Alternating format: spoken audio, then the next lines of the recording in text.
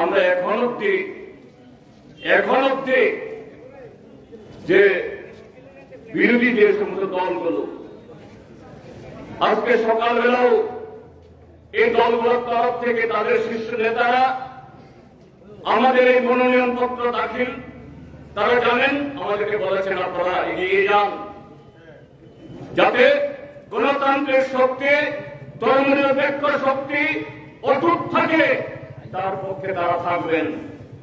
কাজেই সেই ভোটের অঙ্কেও এবং সারা দেশের সাথে ত্রিপুরাদের মধ্যে যে বাতাবরণ তৈরি হয়েছে সেই জায়গায় ভারতীয় জনতা পার্টির প্রার্থী জেতার কোনো রাস্তা নেই। মথান সঙ্গে কি কোনো কথাবার্তা হয়েছে এই বিষয়ে? দেখুন এটা উপরের বিষয়। এটা মাননীয় মুখ্যমন্ত্রী রয়েছেন আমাদের নর্থ ইস্টের কোঅর্ডিনেটর রয়েছেন আমার প্রভারী রয়েছেন। ওনারা কথা বলছেন, ওনারা আলোচনা করছেন। কিন্তু এই মুহূর্তে আমার কাছে যেটা সবচেয়ে বড় জিনিস, যেটা হলো আমরা, আমাদের প্রার্থী, দলীয় প্রার্থী ঘোষণা হয়েছে, আমরা দলীয় প্রার্থীর সমর্থনে আমরা অলরেডি সাংগঠনিক কাজ আমরা শুরু করে দিয়েছি।